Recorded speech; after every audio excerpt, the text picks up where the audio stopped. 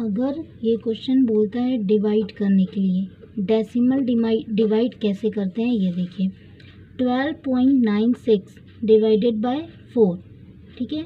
इसका हम दो मेथड बताएँगे। मेथड वन जो है, इस तरीके से,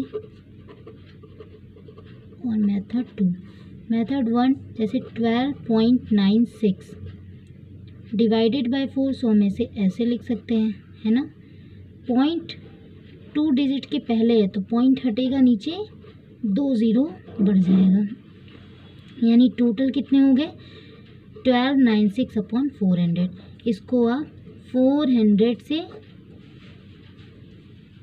ट्वेल्व नाइन सिक्स को डिवाइड कर लीजिए। कितना आएगा? थ्री टाइम्स ले जाएँगे फोर थ्री ज़ा ट्वेल्व माइनस करेंगे सो सिक्स से ज़ीरो जाएगा सिक्स नाइन से ज़ीरो जाएगा नाइन एंड टू से टू जाएगा ज़ीरो, वन से वन जाएगा ज़ीरो। टोटल कितने बन गया? नाइन्टी सिक्स फिर एक पॉइंट लगाएँगे। पॉइंट जैसे लगाएँगे, यहाँ वन ज़ीरो बढ़ जाएँगे। फिर कितने टाइम्स में ले जाएँगे? टू टाइम्स में। फोर टू ज़ा एट तो यहाँ कितने हो जाएँगे?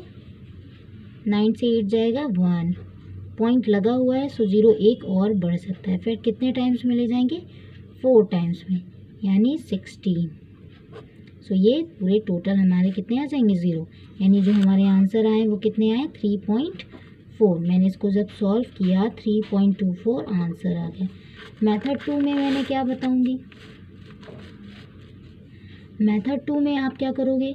डायरेक्ट कर लो फोर से divide twelve point nine six okay so इसे कैसे करेंगे? फोर के टेबल में ट्वेल्व आता है थ्री टाइम्स में. सो so, यहाँ लिखेंगे थ्री फोर थ्री ज़ा ट्वेल्व कितने हो जाएँगे? ज़ीरो ये पॉइंट है, इस पॉइंट को ऊपर हम शिफ्ट कर देंगे। फोर थ्री ज़ा ट्वेल्व और यही पॉइंट ऊपर शिफ्ट हो जाएगा। फिर फोर के टेबल में नाइन कितने टाइम्स में आते हैं? नहीं आते हैं उससे कम क्या आएँगे? एट यानी टू टाइम्स में एट आ गए। पहले ये नाइन उतार लीजिए, फिर यहाँ पे एट माइनस कर देंगे सो यहाँ कितने बच गए? वन फिर ये वाला सिक्स उतार देंगे, यानी सिक्सटीन फोर फोर जा सिक्सटीन ओके सो आपको जो भी इजी लगे वो करिए। मेथड टू जो एक डायरेक्ट हम लोग कर सकते हैं डिवाइड और मेथड टू में सिंप्लीफाई करके इसे हम कर सकते हैं। पहले ज़ीरो में कन्वर्ट करके ओके वैसे बेटर ये होगा, ये आपको ज़्यादा समझ में आएगा, सो आप करिएगा। इसी तरीके से सेकंड क्वेश्चन सेम प्रोसेस है। यहाँ देख लीजिए two point seven eight divided upon में वन पॉइंट थ्री नाइन यहाँ कुछ नहीं करना है आपको। ये टू डिजिट के पहले पॉइंट हैं, हटाएँगे तो नीचे दो ज़ीरो ये टू डिजिट के पहले पॉइंट है, हटाएँगे तो ऊपर दो ज़ीरो जब ऊपर का हटाते हैं तो नीचे ज़ीरो बढ़ता है और ज़ीरो नीचे का हटाते हैं डेसिमल तो ऊपर ज़ीरो बढ़ता है। दोनों हंड्रेड सेम हो गए तो कैंसिल हो सकते हैं एक दूसरे से। फिर आप सीधा क्या करिए वन थ्री नाइन से टू सेवन एट को डिवाइड कर दीजिए। पहले क्या जाएगा कितने टाइम्स से वन टाइम्स में। So one three nine eighty eight से तो नाइन नहीं जाएगा, एटीन से नाइन जाएगा सो नाइन बचेगा सिक्स से थ्री जाएगा थ्री हो जाएगा। फिर यहाँ पॉइंट लगा दीजिए, एक ज़ीरो बढ़ा दीजिए। फिर कितने टाइम्स में हम ले जाएँगे? टू टाइम्स में। टू नाइन ज़ा एटीन वन टू थ्री ज़ा six one seven two one ज़ा टू टेन से एट जाएगा टू एट से सेवन जाएगा वन एंड थ्री से टू जाएगा पॉइंट लगा हुआ है, एक ज़ीरो और बढ़ सकता है। आप कितने टाइम्स में ले जाएँगे?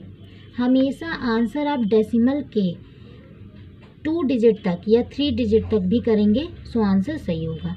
मोस्टली हम लोग टू डिजिट या थ्री डिजिट तक करते हैं, ठीक है? यानी पॉइंट के थ्री डिजिट तक नंबर होना चाहिए। क्योंकि बार बार वही नंबर रिपीट होगा, सो आप उसे सिर्फ़ एक टाइम लिखोगे, ठीक है?